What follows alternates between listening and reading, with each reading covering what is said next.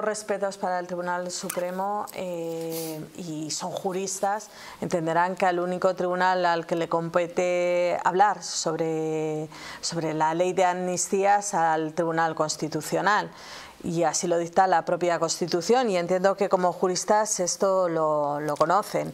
De modo que, bueno, eh, más allá de que nos guste o no nos guste la, la amnistía, según los procedimientos, que los seguirá de tal como dicta también la propia Constitución. Esto no vale con que haya unos artículos que nos gusten más o menos, pero sigue los procedimientos habituales.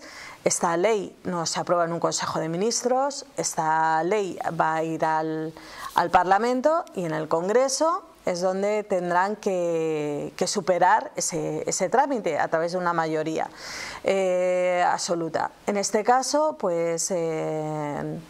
No, no eh, va a seguir con, e, con, ese trámite. El Partido Socialista no tiene, no es el partido mayoritario, no tiene eh, para crear esa mayoría, sino que lo forman varios partidos políticos para llegar a esos 179 o 178 diputados que presumiblemente aprobarán esa, esa ley.